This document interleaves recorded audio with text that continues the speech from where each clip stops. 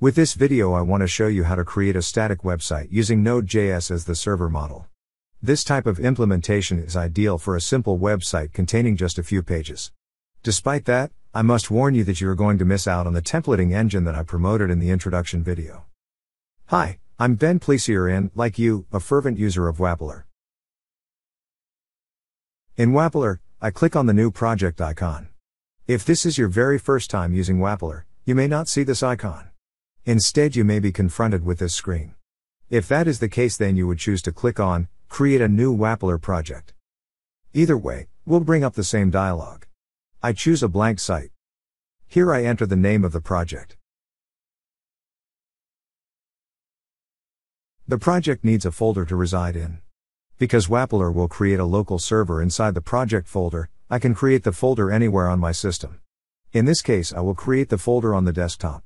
Normally, I would create the project folder in a directory dedicated to my projects. I usually give the folder the same name as the name of the project for easy identification. I keep the default hosting and choose Node.js as the server model. When I click the Save button, Wappler wants a confirmation for the installation of the Node packages. Depending on the processing speed of your system, this will take about 2 minutes. In the meantime, you may be wondering why I call the project junk. This is because I already regret producing a static website in a Node.js project. Node.js can do so much more. The reason why I promised to create this site is because several Wappler community visitors have asked for this. As an aside, I will leave the link to the community below. Having said that, there may be occasions where you will need static pages in your project. I will probably create a couple in future videos, but they will be part of a dynamic site. It looks like Wappler is still grinding away.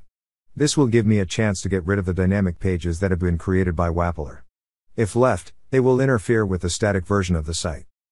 I remove both of the dynamic sites that Wappler has automatically created.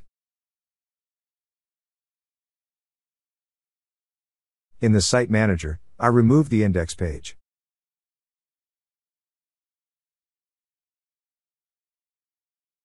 Under Layouts, I remove the main layout.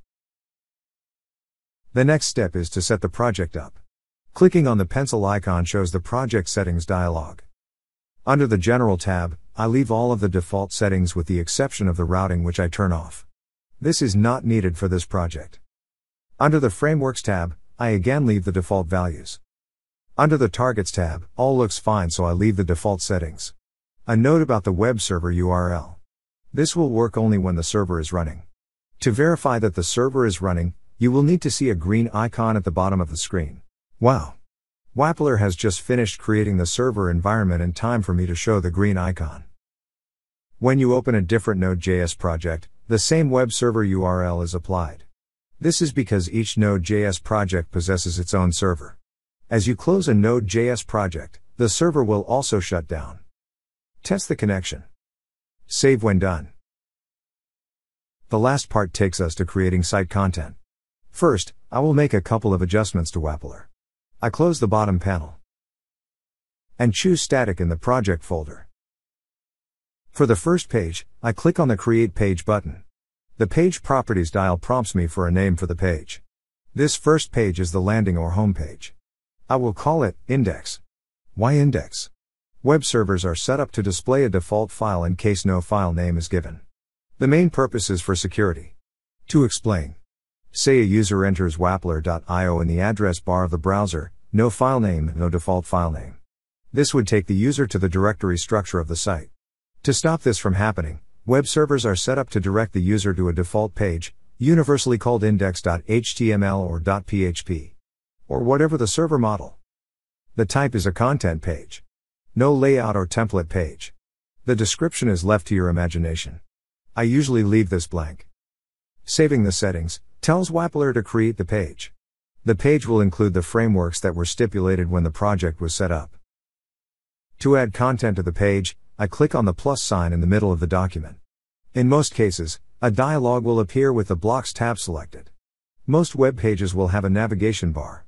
So I go ahead and select a menu bar. After the header that was created for the navigation bar, I add some random content. This content is for demonstration purposes only.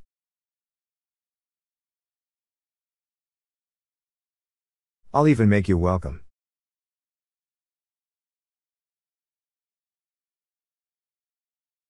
According to the navigation bar, I need two more pages.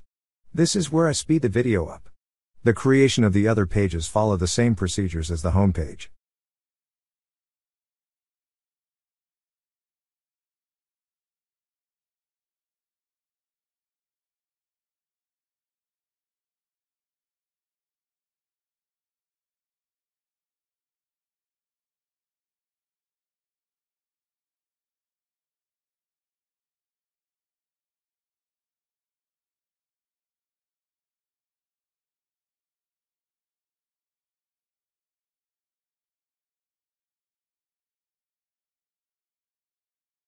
For the last part of this video, I will add links to the navigation bar.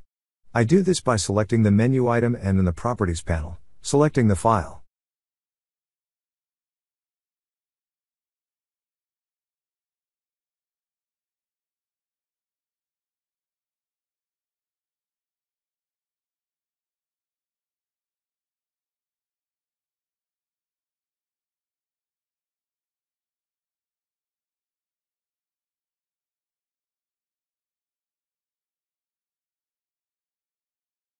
I speed the video up while this needs is repeated for each of the other pages.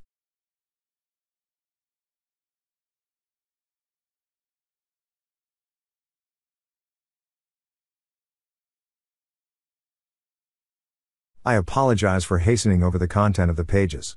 The main aim of this video is to create a static site, not creating content for the pages.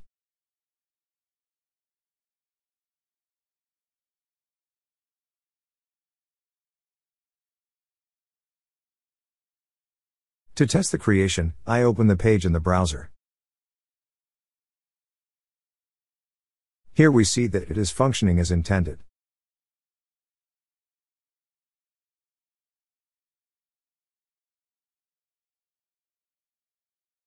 In the next video I will create a dynamic website, complete with a template and routing. I hope to see you there. Thank you for watching.